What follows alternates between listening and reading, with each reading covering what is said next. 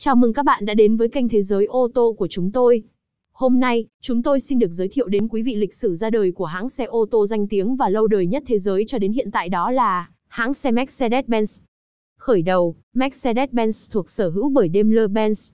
Hiện tại, hãng là một thành viên của công ty mẹ, Daimler AG tên trước đây là Daimler Chrysler AG.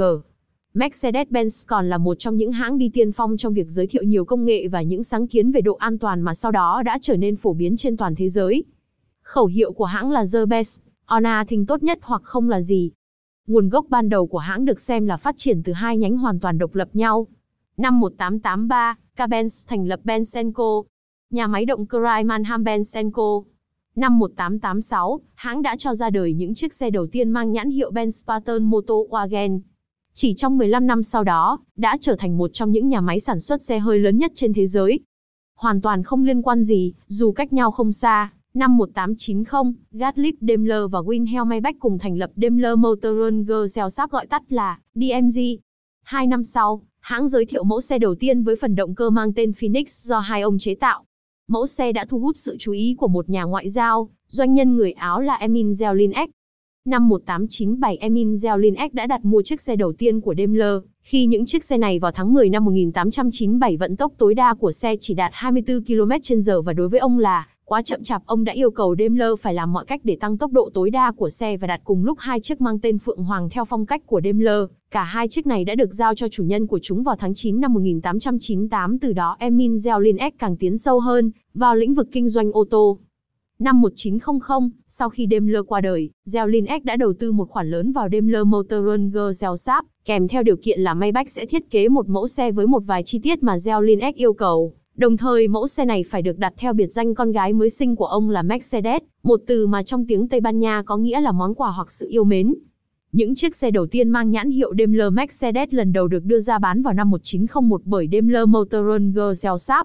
Sự thành công của mẫu xe vượt mức mong đợi, đến mức ngày 23 tháng 6 năm 1902, DMG quyết định sử dụng tên Mercedes là thương hiệu cho sản xuất ô tô của hãng và có thể Emil X, cũng không ngờ rằng tên của cô con gái ông lại đi vào lịch sử ngành ô tô với tư cách là một trong những hãng xe lớn nhất thế giới. Sự phát triển của hai hãng đều có những lúc thăng trầm. Benz ngừng không tham gia trực tiếp vào các công việc của nhà máy vào năm 1903. Maybach rời khỏi DMG năm 1907. Hai năm sau đó, Zelinek cũng không tham gia với DMG nữa. Chiến tranh thế giới thứ nhất nổ ra và kết thúc với phần bại trận thuộc về nước Đức. Việc làm ăn của cả hai hãng sau chiến tranh rơi vào khủng hoảng trầm trọng. Để vực dậy được hoạt động kinh doanh, năm 1926, Mercedes đã chính thức sáp nhập cùng công ty Benz Co. Sau đó tên thương hiệu đã được đổi thành Mercedes-Benz và sử dụng cho đến tận ngày nay. Sự ra đời của ngôi sao ba cánh, biểu tượng của Mercedes, Trước khi qua đời, Gatline Daimler từng dùng ngôi sao làm biểu tượng khi đang làm giám đốc kỹ thuật của nhà máy động cơ. Ban lãnh đạo của DMG lập tức tận dụng ý tưởng này và đăng ký bảo hộ độc quyền ngôi sao ba cánh và ngôi sao bốn cánh. Tháng 6 năm 1909 tuy nhiên chỉ có ngôi sao ba cánh là được sử dụng, kể từ năm 1910 biểu tượng ngôi sao đã được tạo hình bằng nhựa và gắn lên phía đầu của xe. Cùng với thời gian sau nhiều lần sửa đổi đã có rất nhiều chi tiết được thiết kế thêm, vào năm 1916 người ta đã thiết kế thêm một vòng tròn bao quanh ngôi sao trong đó có 4 ngôi sao nhỏ và chữ Mercedes. Vào năm 1921 công ty DMG đã trình lên cục sang chế biểu tượng ngôi sao ba cánh nằm trong khuôn hình tròn. Đến tháng 8 năm 1923 biểu tượng này được chính thức đưa vào sử dụng. Ý nghĩa logo ngôi sao ba cánh. Logo của mỗi thương hiệu đều ẩn chứa một câu chuyện và ý nghĩa. Đối với Mercedes, logo ngôi ba cánh thể hiện cho ước mơ chinh phục, thống trị ở mọi nơi từ không gian, mặt đất và dưới biển. Nếu để ý, khách hàng sẽ thấy thương hiệu Mercedes chỉ sử dụng hai màu sắc bạc và đen mỗi khi logo ngôi sao ba cánh xuất hiện.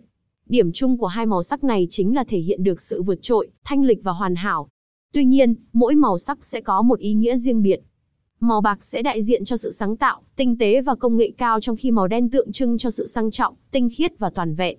Mercedes-Benz kỳ vọng hai màu sắc này sẽ truyền tải được những giá trị mà hãng xe đang hướng đến.